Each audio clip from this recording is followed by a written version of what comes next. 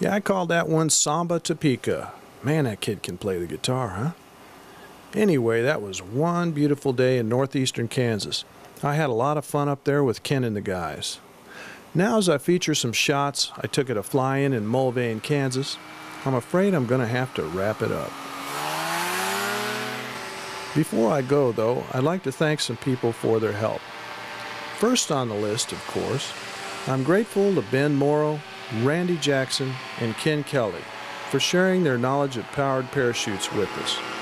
Their dedication to safety and proper training methods distinguishes them as leaders in the sport flying community. I also want to thank the Mid America Air Museum in Liberal, Kansas. They were very helpful to me, and I highly recommend you go there and tour this fine facility.